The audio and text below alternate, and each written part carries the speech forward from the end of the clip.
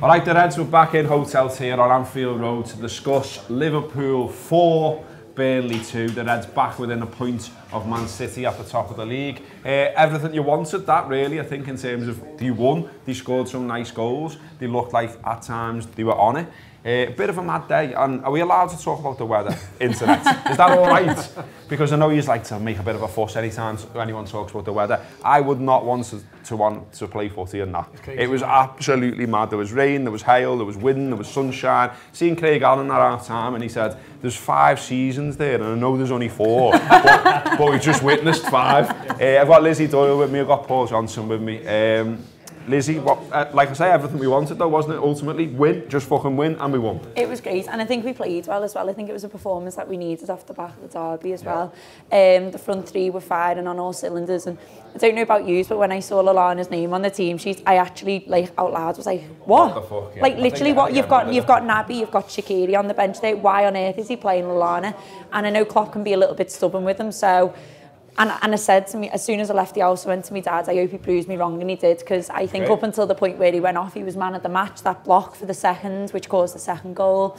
Um, I just thought we were great today. Even when they scored the second in like the 92nd minute no or whatever. No, it was like... it was fine. And and you know what, Liverpool's done the business today and they done it well. Yeah, absolutely. Uh, Lizzie summed it up well there. But I mean, Trent, there's a few things, isn't he? Like Trent didn't play well, and Trent gets hooked in the end, and it meant a mad reshuffle, and Henderson's like full back, and you know Firmino in midfield and all that. But I kind of think like sometimes maybe managers think I need to do that. Yeah. Just as a little message to him, like you haven't played well today. Here's a little kick up your arse. Yeah, and I think as well. you know, when, when we did change shape, it didn't it didn't affect us. No. You know, it, it, Henderson dropped in there. Uh, that was seamless. And I thought when he came on, he did really well. Henderson as well. He kept the ball, just kept taking over, doing what you want, what your captain to do really. Um, and as you say, Bobby dropped in. Didn't cause any problems. We could have done without the you know their goal with yeah. with with, with what, what I mean, minutes ago. Like, that's like that second shot yeah, in the yeah. game. Though. But I we, we said it probably it comes from uh, uh, I think a foul on on Salah on the touchline. And we said off show there. We thought Marner was poor. And, yeah. and okay, you know we don't want to go about referees but it did have a bit of an impact on the game. But like you said, Lizzie, I thought we, we played well, and you know, there was times when our football was great. Really, I think once we got 3-1 up, you know, I wanted us to go and score four or five because yeah. I think we could have. It looked like we were a little well, we did bit. Get four. Yeah, yeah, yeah, yeah. yeah. Sorry, unanswered. But um, yeah, I think you know once once we were once we were playing in the groove, we were playing really well. Um, and I think there was times where we probably looked like maybe looked maybe pass it to you know one extra pass or so. There was a couple yeah. of times where you're thinking it, it seemed as if well we didn't know where the wind was coming from because as you've already mentioned it was all over it was the place. Wild. But there was a couple of it times was mad just walking yeah. up to the ground, wasn't I mean, it? Like first, proper like getting that blown first everywhere. half as well. There was a couple of times where the ball was going one way and it actually stopped and came back yeah, the yeah. other way. And I know obviously you know you got a lot of stick for talking about the wind against Everton, but it must have a massive impact when you're on the pitch playing. So so we had to make. And Anfield's dead close to the sea, so guess what?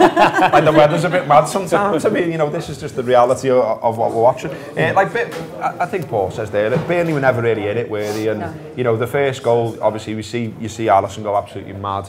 Uh, loads of lads had replays on the phones at our time, and we were all having a bit of a look. And it does look like the defenders literally, uh, sorry, their, their players literally got his arms around them.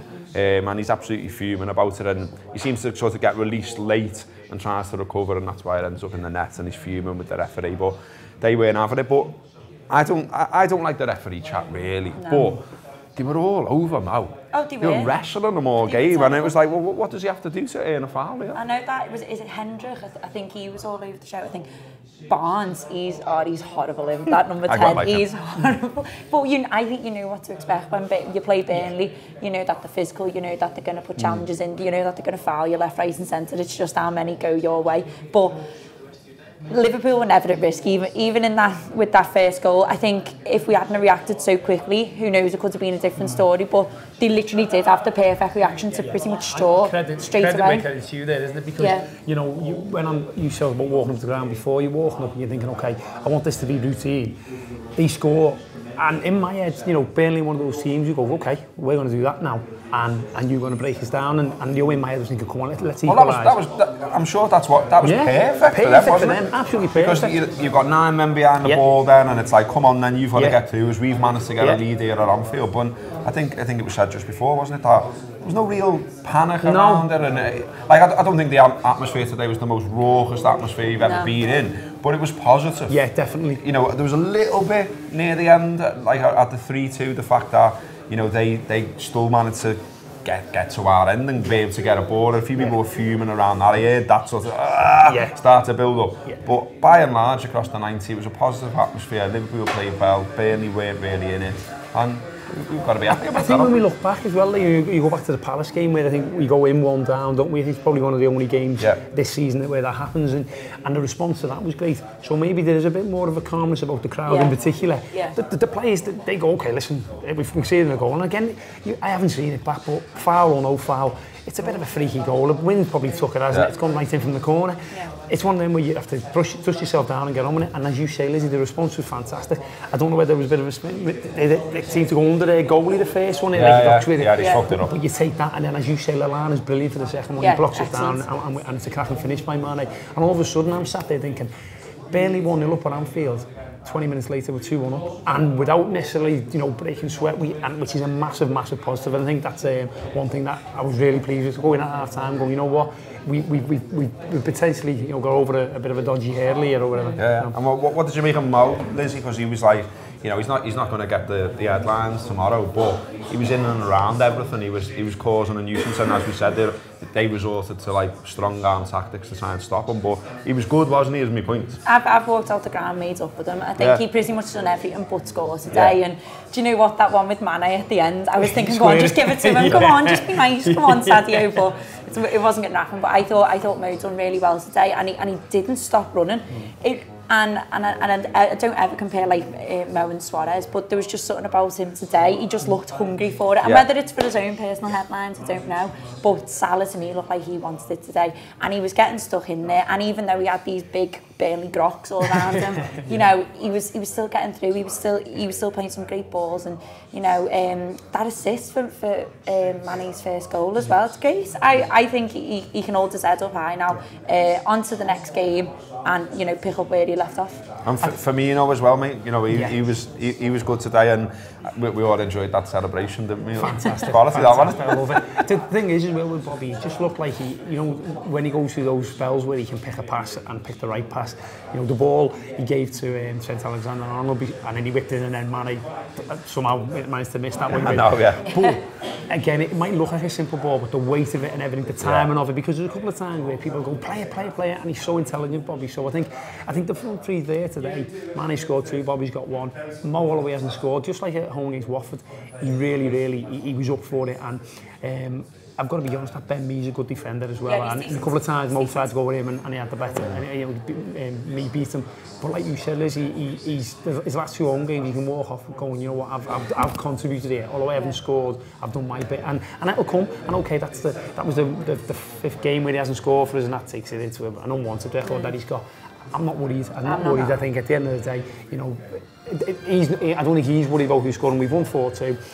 And those goals will come. And if he, and you know, if he does score till the end of the season and he's contributing like that, yeah. then so be it. I, I don't think it's any coincidence that the, the front three played the way that they did um, and Adam Lallana starts. I don't mm-hmm. think that's coincidence whatsoever.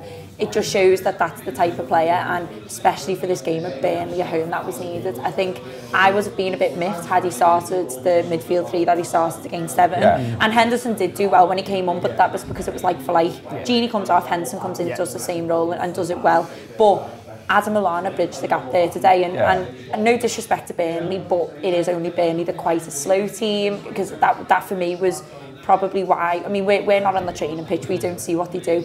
Um, but for me that's why I thought he went for Lallana rather than a Naby because they're quite said, a slow team. Yeah he said hasn't he Klopp? He, I've seen it before Neil Jones tweeted that he said like he was asked before the game how come he started and he said basically he's played really well in training. Fair play to him, and, and, he and he's, he, he's looked one of the best players there, and he said so because of that. I thought oh, I'm starting him today, and he didn't let himself down. Did he? he did really well. That's the thing, isn't it? You know when, when he did, he, we, we were laughing walking up though. You, you must be onto this as well. The, the, um, he, he definitely does loads of unnecessary Cruyff turns, doesn't he? yeah. And, and like, yeah. we were like walking up saying, well, should we have like a little sweep on our many? and like to be fair, he didn't do that many. I, I only really spotted two. But, there, but, two, there, yeah, but there was one second half where he was just you know, he's sort of like in a bit of a playmaker position. No one No near on him, yeah. and he did one, and I was like, yes. Like, like he's got to reach a certain quota. Maybe you know what you had. Did you ever see the sweep? Yeah, no, do you know what? Like you said there, Lizzie, probably, you know, again, you see the reaction on Twitter from some people and you think, you know, Well, Alana White's... Well, we're not seeing him every, every day in training. No. Same with Shaqiri and, and Keita, exactly. And, you know, people are saying, why is Shaqiri not playing, etc. We don't know. But at the end of the day, you've got to trust your manager. And, and, and hang on, 73 points. Well, I'm trusting them. Yeah. And, and, and that's what we've got to do. And, you know, there's eight left. And you know, next next Sunday we get the chance to go back top, don't we? Because obviously City don't play, Yeah. and we go away to Fulham. That's psychological, you know. Yeah, I know. definitely. I know Definitely. they've got a game in hand, Definitely. but is their game in hand against United? Well, I, don't, I think we play the same weekend as that. I don't know where they must. But think- even so, just that psychological Yeah, edge, totally. isn't it? To, to know that they've gone. If, if we get the three points against Fulham and they go, well, we, it's literally nothing Yeah. less than that now because right. Liverpool go back on top. And it's so- just the thing of just sort of not going away, isn't it? Mm-hmm. Just just keep on knocking, keep on knocking. I had a little thing in my head, whi- which you know you do to yourself at times, don't you? And like I did it where I was like, ah know our head's going to go a little bit that we're four points behind before the ball gets kicked today. Yeah, yeah. But it was fine. Yeah. It was all fine, and I, and I was made up with how it unfolded. Yeah. And and there we are, back back, you know, only a point behind them again. And, and it's just like you know the level they're at, and the le- their consistent level. Hats off to them. That's it. But then we've, we're staying there, we're staying there, we're staying there. And you've got to remember, like, what was it last season? We finished 25 points behind them. I know. And here we are, eight games to go, with every chance of winning the league. And that's, that's all you want to be in it for, though, you know what I mean? Okay, listen, you can you can say, you know, if we do, if we beat Leicester at home with this, with that, it's gone now. It's Yeah. gone. All we've got is Move what we've got in front of us. Yeah. And today, like you said, we go four behind last night, and you know you have to respond. You go one down after what, three, four minutes, you can imagine the City fans, you can imagine the City team yeah, yeah. potentially. No, no sweat, lads. No. We're going to win. We've won, we've won comfortably, okay. Yeah, you know, a little scared at the end, but we, we end up winning 4-2. And I, we walk away here, job done. But it's, it's the message that goes on, and especially now you say, okay, next team to play us, and if we can go and be full and, and go back ahead of them, back in your hands, then in the city, back Over in, to you, on your That's court, exactly, and, and, and, you know, watching them last night, All right, they, they dominated it, you know, and obviously a weakened Watford team, but you know, for me to get a fortunate decision, sometimes rub the green goes against you in another game, so you know, fingers crossed. I think the performance was really key today. I think a win, I think it's mad because I think, say, we, we played badly and scrapped to 1 0, we'd all be buzzing, they'd be Mm. buzzing. it, But I think also for confidence, especially what we were saying about Salah, because all the media's turning up these headlines, how we can't hit this, you know, what, how many goals is it that, it, that he's meant to hit?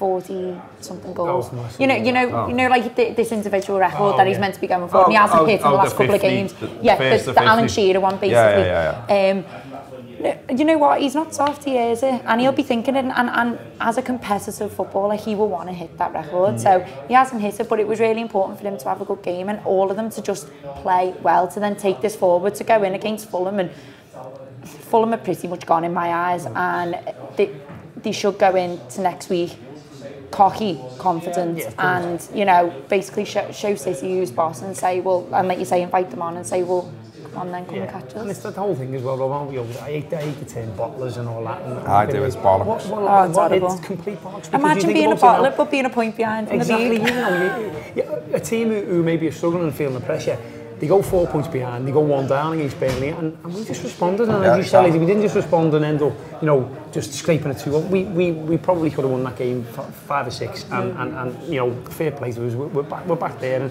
and even goal difference now. I think we're only seven behind. So you know, we get maybe Cardiff and home, we give them a hammer, and you never know. You know what I mean? So, but bring it on. There's loads of character there. There's loads of Liverpool are great. It's great to watch Liverpool this season. We, we should be we should be bigging them up. They're, they're absolutely yeah. brilliant. They're, they've done so, so well. They've only lost one game all season in the league. Next up, it's Bayern Munich. I can't wait. I can't wait to get out there and see what happens.